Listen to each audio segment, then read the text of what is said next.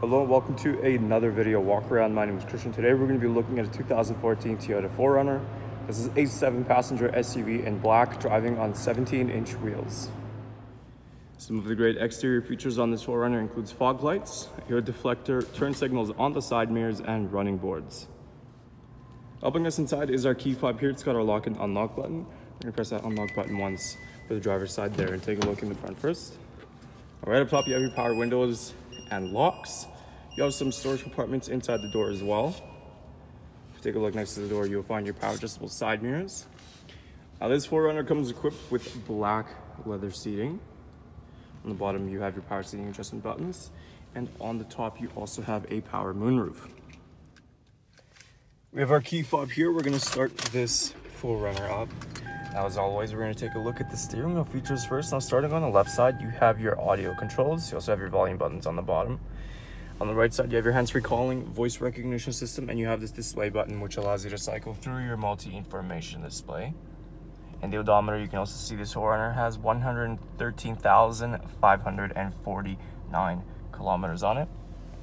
Taking a look behind the steering wheel, this is where you will find your cruise control.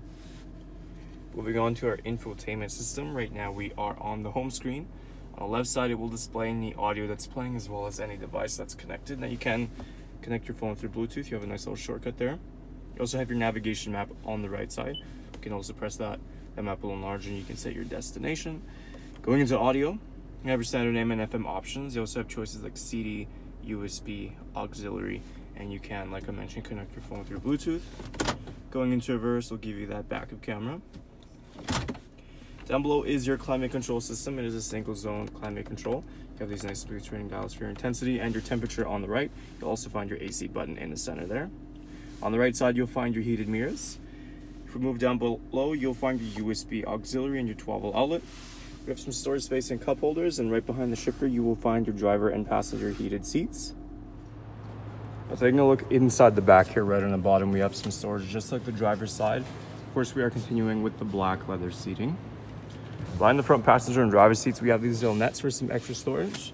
And the second row seating does fold down. There's a little handle here. If we pull that upwards, the seats will fold flat, giving you access to your cargo and your third row seating. To access the cargo from the outside, there's a little button under that 4Runner emblem. Giving that a press, that lift gate opens up nice and easy. And you can see, of course, we have those third row seating, uh, third row seats up. You can put them down by pulling on these little handles for the headrest. And you have these little buttons in the corner.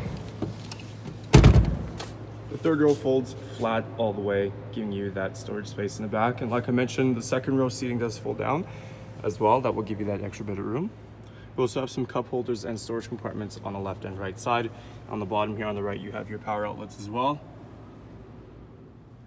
Taking a last look at our Toyota 4Runner, once again, some of those great interior features includes your navigation, power moonroof, and driver and passenger heated seats. There's still a lot more I didn't get a chance to show you, so why don't you come on down and take it for a test drive. We're located here at Toyota Northwest Edmonton on the corner of 137th Avenue St. Albert Trail.